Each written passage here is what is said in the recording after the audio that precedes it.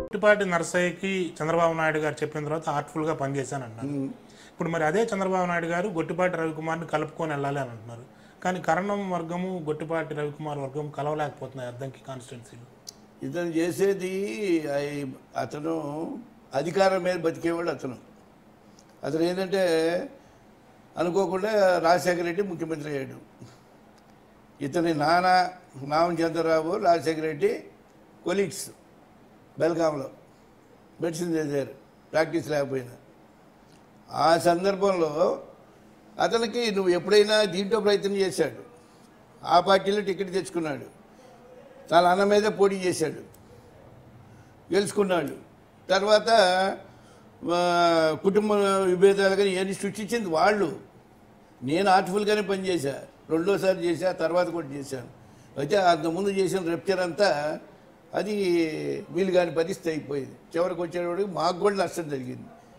నేను ఎందుకు ఇప్పుడు చెప్తున్నానంటే ఆ గ్యాప్ పది సంవత్సరాలు నన్ను వెంటాడింది మనం నమ్ముకున్న వాళ్ళకి మనం పని చేయలేకపోయామనే ఫీలింగ్ నాలో ఉంది ఇప్పుడైనా ఎందుకు చంద్రబాబు నాయుడు సరే అవసరం కోసం చేర్చాడు?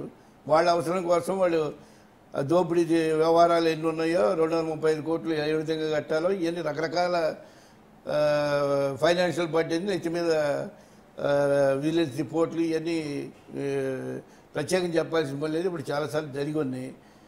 కారణాలు ఏమైనా కానీ ఇక్కడ అవసరమైంది వాళ్ళకి అవసరమైంది వచ్చారు. ఒకరికి అవసరాలు ఒకరు తీసుకునేది. అంతవరకు ఉండాలి? నేను ఆ రోజు చెప్పాను మానిటరీ బెనిఫిట్ ఏ విధంగా కావాలో ఇది చూసుకోండి. ఇక్కడికి వచ్చేటప్పటికి తెలుగుదేశం కార్యకర్తలు మటుకు అట్టు కాకుండా వాళ్ళకి కావాల్సిన పనులు వాళ్ళు చేయమన్నాం తప్ప వీళ్ళని దోసిపెట్టమని నేను చెప్పలేదు. అక్కడ తేడా వస్తుంది. నువ్వు రాజశేఖర రెడ్డి పెన్షన్లు అని తెచ్చారు. రాజశేఖర రెడ్డి బొమ్మ పెట్టి అక్కడ ఎదురుకు పంచిన సందర్భాలు ఉన్నాయి. చాలా ఫోటోలు కూడా వచ్చినాయి పేపర్లో. ఇప్పుడు వచ్చిన కాడి నుంచి ఒక తెలుగుదేశం వాడికి పెన్షన్ ఇవ్వలేదు అట్లనే ఈ సంక్షేమ కార్యక్రమాలు ఏదున్నా కూడా తెలుగుదేశం వాళ్ళకి జరగకూడదనే తాపత్రంతో పోతా ఉన్నారు. ఇప్పుడు కూడా ఏంటంటే చంద్రబాబు నాయుడు గారు ఏం చెప్పాడు? అందరూ కలిసి పని చేయాలన్నారు. ఓకే. కలిసి పని చేయడానికి ఇష్టం ఉన్నా లేకపోయినా పార్టీ అధ్యక్షుడు చెప్పాడు కాబట్టి తలకాయించుకున్నావు నువ్వు అని నీకు లైసెన్స్ ఇచ్చినట్టు కాదు అది. వీళ్ళని ఇబ్బంది పెట్టడానికి ఎవడు లైసెన్స్ ఇచ్చాడు? కలుపుకొని వెళ్ళాలి అది.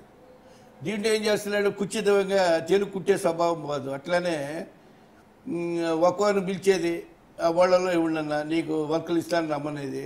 నీ కోట్లు పనులు ఇస్తాను రమ్మనమని అటెంప్ట్ చేసి ఒక్కోని గెలిచి ఆ విధంగా పబ్బం గడుపుకుందాం అంతా నేను జాగ్రత్త చూసుకుంటున్నాను అనేది ఇతను బయట చెప్పుకునేది. దీనికి ఏంటంటే వాళ్ళ వాళ్ళ రిపోర్ట్స్ వాళ్ళకు ఉన్నాయి. తెలుగుదేశం వాళ్ళని కలుపుకోకుండా ఒంటెత్తి పోకుండా పోతున్నాడు అని చెప్పనే దాని మీద సీఎం కూడా గట్టిగానే వాళ్ళ క్లాస్ ఇచ్చాడు. అంటే ఒంటెత్తి పోకుండా మీరు వచ్చే ఉపయోగం లేదు ఎప్పుడు ఏం చేసినా కూడా గెలిచే ప్రశ్న లేదు అని చెప్పని వార్నింగ్ కూడా ఇవ్వడం జరిగింది అది. ఇంకా వేరే వాళ్ళు కూడా ఉన్నారు అది- ఇది ఇచ్చినప్పుడు వార్నింగ్ ఇచ్చినప్పుడు. నేను గండం బలరామకృష్ణమూర్తిని.